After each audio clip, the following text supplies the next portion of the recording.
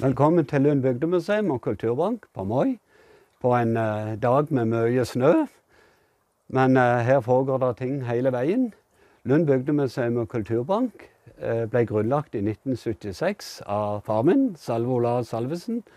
Og i dag er det samlinger her fra alle slags mulige ting. Skole, industri, landbruk.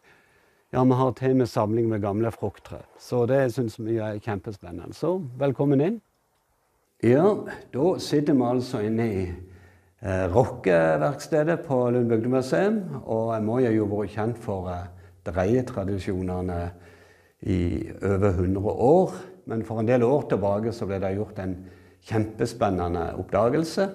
Vi hadde besøk fra Arkeologisk museum i Stavanger, og så fikk de øye på to eh, sånne emner i tre som lå her på museet.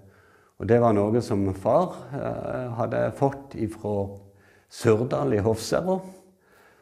Og eh, via en annen mann som eh, leverte de. Og visste egentlig ikke noe om det, men så fikk vi besøk av disse arkeologene. Og de ble veldig interessert i disse skålene og lurte på hvor de kom ifra. og og sånt. Og de sa jo at dette kan faktisk være veldig gamle dreide gjenstander, som er ganske sjeldne i Norge.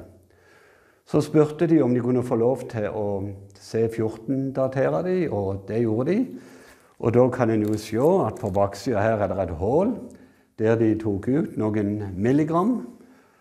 Og så sendte de dette til C14-datering. Jeg tror prøvene da ble sendt til Tyskland. Og jeg venta jo, var jo kjempespennende på resultatet. Og yes, de var gamle. Eh, vi har jo alltid trodd at de var fra 1800-tallet, men disse skålene de var faktisk eh, dreid på begynnelsen av 1400-tallet.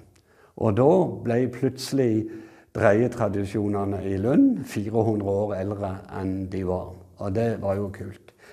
Disse er jo òg dreid i ord, som er vanlige i Lund. Og så ser en at det er sånn forhøyninger i midten. Og det har med festepunktene, sånn som de, når de dreide på gamlemåten, sånn som de festa det i benken.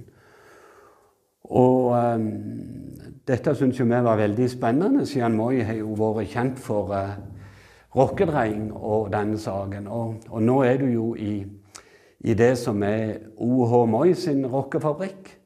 Det er jo den siste rockefabrikken som meg bekjent var i drift i Norge. Den ble drevet fram til rundt 1959. Og i den rockefabrikken her er det da faktisk vært fire generasjoner. Det syns jo jeg er litt kult.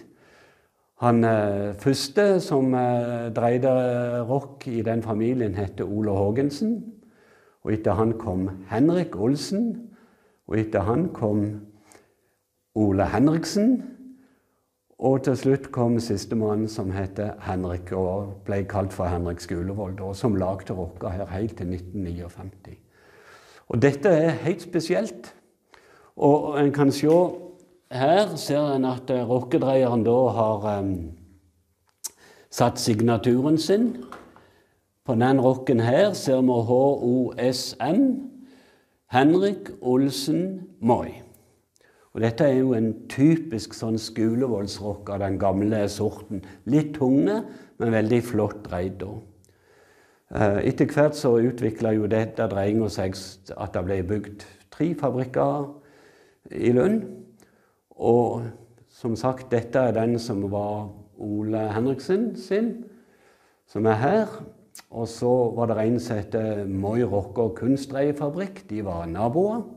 Den har de mange ting av på Dalane folkemuseum i Egersund. Og den siste rockefabrikken den var på Sørdal i Hofsøra. Og da er jo ringen slutta. For hva henne var det disse skålene var funnet? Det var på Sørdal i Hofsøra. Så på Sørdal i Hofsøra der har de altså dreid fra 1400-tallet og helt fram til ja, 1920-30-tallet. Da ble rockefabrikken der bygd om til kraftstasjon. Det syns jo jeg er kjempespennende.